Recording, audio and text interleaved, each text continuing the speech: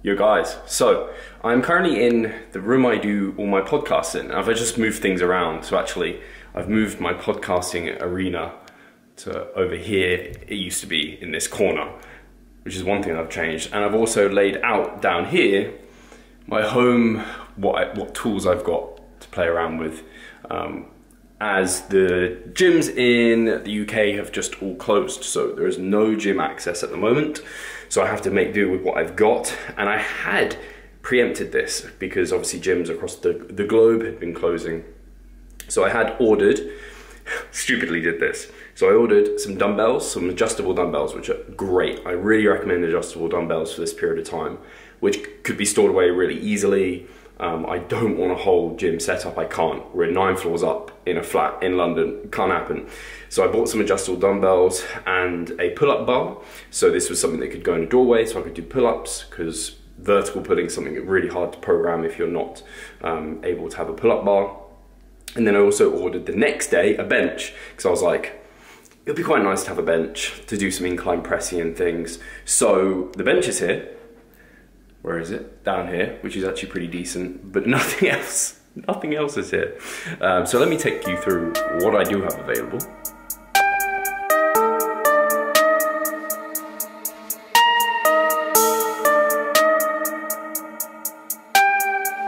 We have, and this is great because as you can tell, these right here are unopened. Some bands. I don't know if they'll be great, usable for what we're trying to do here, but I do have some bands. So um, I have these bands and then these are some thicker bands, so this might be good for some leg training. I have some 0.5 kilo, like really light additional weights um, that I picked up a long time ago, which I, I just don't ever use. Uh, I have my weighted vest actually came, which I was gonna use for contest prep, but this will come in useful here, just some as additional loading. Maybe I'll be able to use these cuffs not sure. Attach them to some bands, something, not sure. Have to see. I have some knee straps, so I should be able to do some occlusion training with that if I wanted to.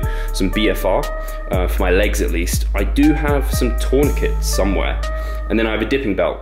And this could come in useful for doing some like uh, squats of some kind potentially. Not sure what else. Then this is the bench I picked up. So this can go incline, it can go decline. The reason I picked this one up in particular is because it folds away really nicely. Um, and yeah, it's actually quite a nice bench. Uh, and then I have a TRX. I have had this for a long, long time, so I can do a bunch of stuff on the TRX as well. I also just dug out this. Oh, wait up. So, I have sliders. So I remember buying these when I was a one-on-one -on -one PT I think I wanted to like differentiate myself or something, but these like slide on the ground, on the carpet. Um, so these will slide really well on here. You can do like ab rollouts. You probably do like chest flies with these if you wanted to, leg curls. So they're quite cool, they're really cheap. I found my medical tourniquets. So this is for like occlusion training, wrap them around your arm. So they're pretty, they may come in handy a little bit. I then found also this bag of goodness which is just loads of different bands. And the cool thing with these bands, these are my pump up bands for bodybuilding shows. They have like handles on them as well. So that could come in quite a lot of handy because these bands I showed you earlier are really, really strong. They're too strong for a lot of things. So these ones will come in handy for like lateral raises and stuff. So I'm actually pretty excited that I've got all of this. Should tide me over until my dumbbells come and my pull-up bar, which I'm a little bit gutted that they haven't arrived yet because I really feel like I'd have an amazing, actually a really cool setup um, with those dumbbells, you can achieve a lot with them.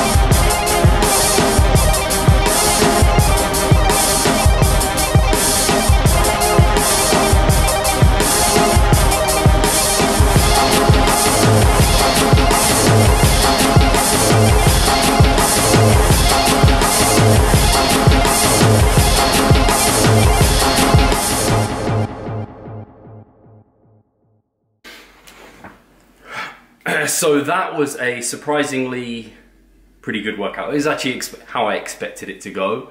Um, I didn't expect anything amazing, especially because my dumbbells haven't arrived yet. But you can get a hell of a lot of tension through the muscles. Uh, the exercise that surprised me most were the where I was standing on the bench and doing flexion rows with the weighted uh, backpack. That was the best exercise actually for me. Um, the inverted rows with the weighted vest, they're okay, uh, but certainly nothing like what a kind of uh, a bent over row is going to give you. I don't think it's as good a stimulus, and I did a couple of extra sets to make up for that. The motor rows actually felt very, very good. I'm very happy with those. And then I myorepped uh, biceps, delts. Um, I had a tri-set for like side delts, upright rows, and face pulls with bands. They work very, very well. Um, I did some stair calves, rep style as well. I have a little ledge, do stair calves on, and then I just did uh, decline crunches on my uh, bench actually that allows you to do that and I did that myorep style as well and it's kind of good timing because this mesocycle is a metabolite mesocycle most for the most part. So what this is going to do for me in particular is probably give myself a, a big break from heavy loading because I haven't had a break from heavy loading in a long, long time. So that actually probably do my body quite some good.